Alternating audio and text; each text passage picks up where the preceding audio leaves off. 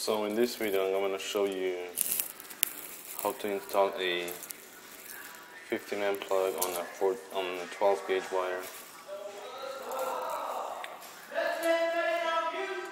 And uh, because it's a 12 gauge wire you cannot use the, wall, the holes behind the plug.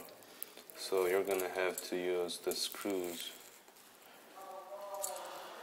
and we use the brass color for hot wire and we're going to use the white color the silver one for white wire and green for ground. So brass for hot silver for neutral and green for grounding.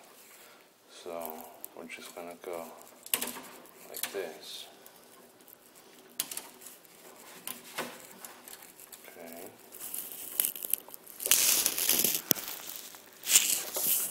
I'm going to use my screwdriver right now. You always want to make sure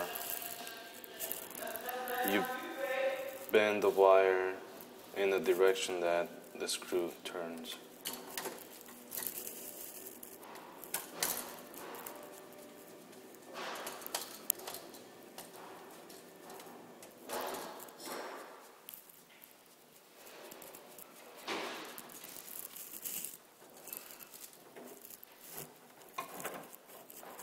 See.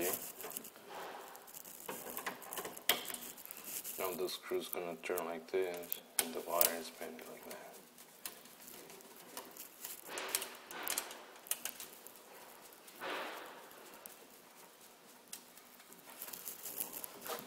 And you just uh, push the wires in.